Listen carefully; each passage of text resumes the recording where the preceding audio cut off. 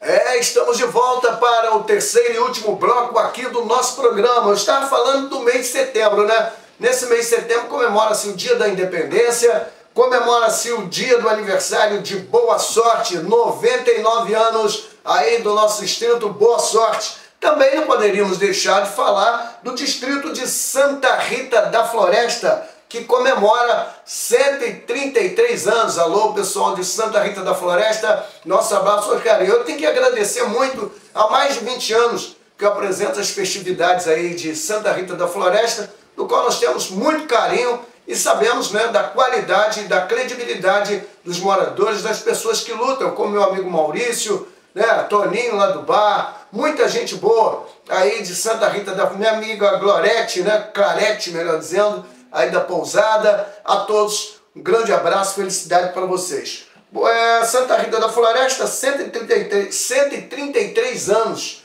Felicidade ligada, é claro, é mais um distrito aqui de Cantagal. Bem, vamos falar de meio ambiente. Nosso amigo Valci Amorim fala sobre o seu projeto ambiental global World Class. É um, é, ele vai falar para a gente, explicar para vocês aí hoje sobre o meio ambiente, sobre a, a, todo o envolvimento das pessoas, principalmente trabalhando com as associações, para que você não jogue lixo nos córregos, garrafas PET que, podem ser aproveitadas e com isso você acompanha aí na nossa matéria. Espaço aberto aí, meu amigo Valcir Amorim. Tamo junto. Aliás, Valcir foi sempre, é, correu muito aí, né? Ganhou muitos títulos aí em Olimpíadas. Ele era um grande fera. Corria muito homem, né? Mas a matéria que nós vamos falar é sobre meio ambiente. Eu estou aqui agora com meu amigo Valci, que a gente já conhece há muito tempo, né? E, e hoje ele está com um projeto e quer levar ao conhecimento da todo o pessoal da região centro-norte fluminense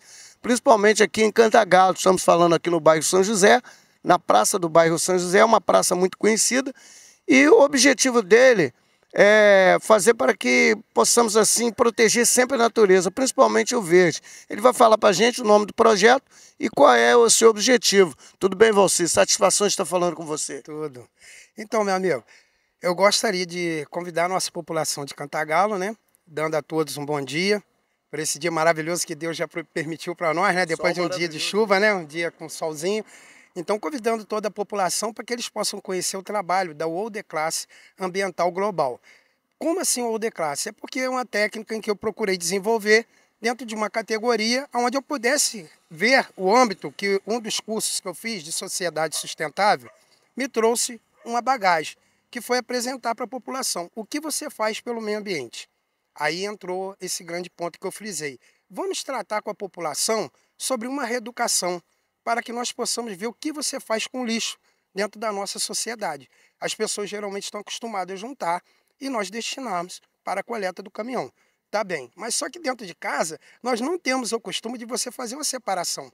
Isso vai gerando outros conflitos, até quando a gente coloca os lixos na, no meio da rua, ele gera aquela poluição visual, Coloca onde tudo junto, tudo né? junto, aí os animais rasgam, né? Onde muitas das vezes os amigos também, que são os catadores, eles precisam rasgar para coletar simplesmente uma garrafa PET. Quando o morador já tem Eles 100 vão atrás das garrafas Isso para poder ganhar um dinheiro. um sustento, aonde eu quis essa classificação. Então eu falei, como eu estou com esse projeto, eu preciso que a população abrace e todos nós possamos gerar essa educação, entendeu? Tanto nas escolas, quanto nos bairros, quanto nas empresas. Como separar, né? Vamos colocar Isso assim, aí. separar o lixo, né? Já que você tem garrafa PET Positivo. e às vezes você quer até, é, em vez de, de colocar tudo junto, vamos separar, Separar. e tentar fazer algo junto com, Junto com a obje- sociedade. com a sociedade. Exatamente. Porque quando nós falamos sociedade sustentável, ela frisa aquela que consegue suprir as suas necessidades de um desenvolvimento, de produção, entendeu? De, de conscientização, num desenvolvimento onde ela não vai gerar, entendeu? Algum tipo de, de destruição para as próximas gerações. Dizer, Então, a gente vê, nós estamos aqui próximo, aqui abaixo da praça, é o córrego Lavrinhas. Isso. É o rio que né, passa por Lavrinhas, Cordeiro, de Cordeiro para cá vai desembocar aqui no Rio Negro. Exatamente. E a gente vê que dentro dos próprios rios existem muitas garrafas PETs ainda que as pessoas jogam, Jogam. sacolas, Né? Então, isso está tudo dentro de um contexto que você está falando. Isso aí. Hoje eu também estou concluindo um curso que são agentes das águas. Então, nós vamos ter um conhecimento total dos nossos rios, dos nossos córregos, das nascentes, como estão essas águas aqui dentro, onde nós utilizamos o nosso convívio. Tem gente que ainda, né, tem, existe as nascentes, também. tem gente que ainda consome essas águas Exatamente. sem saber sem da saber qualidade. da qualidade. E o que, que possa também estar tá acontecendo com as nossas redes de esgoto? Ah, tá, mas isso daí é um problema, que é dos órgãos governais. Mas tudo bem, o que nós temos que fazer? A nossa conscientização.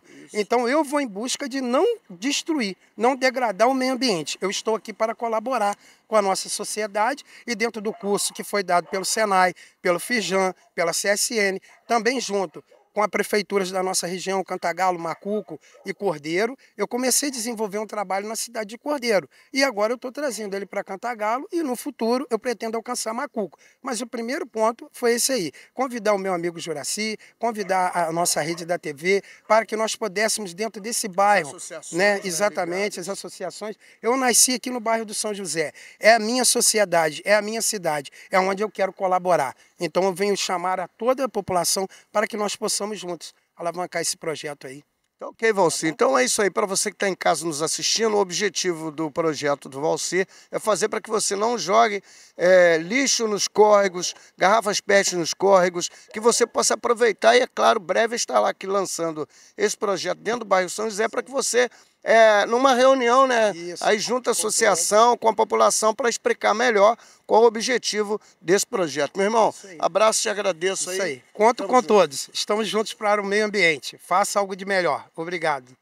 Obrigado, Valci, por ter participado aqui da nossa programação. A TV Regional está juntinho, coladinho com você. Quando se trata do verde, do meio ambiente, a gente tem que abraçar, né, pessoal? As nossas nascentes, nossos córregos, enfim, temos que proteger aí a nossa natureza. Valeu? Gente, amigo, um grande abraço, agradeço a Deus por mais esse trabalho e é claro, né, que você fique sempre é, atento aí e é claro, participando, passando para os amigos o que a TV Regional representa para vocês. Aliás, também vamos ter aí a exposição agropecuária de Macuco. Um abraço aí para a prefeita Michele, né? João Vitor, secretário de governo, minha amiga Michele também, repórter, né? Pessoal que está sempre fazendo, Rodrigo, pessoal que está sempre fazendo um grande trabalho, Barone, Cadim, Ricardo, pessoal de Macuco aí. Estaremos aí cobrindo essa exposição com o melhor conteúdo da TV Regional. A gente se vê lá. Um grande abraço e até o um próximo programa, se Deus quiser. Tchau, pessoal!